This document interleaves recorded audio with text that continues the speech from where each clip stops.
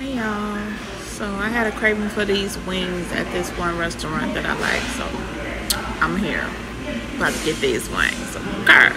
Alright y'all, this is just my little, you know they always give you these um, chips and salsa.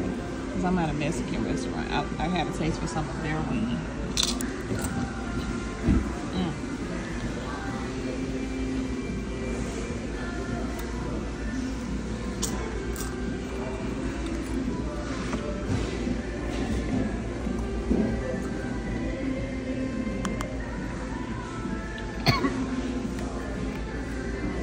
Okay, y'all. So I came here for these wings, but that's what I had a taste for. Oh my god, they'd be so good, y'all.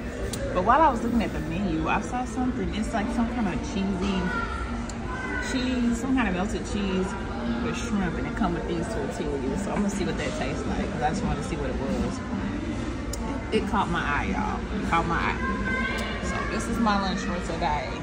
This is my lunch for today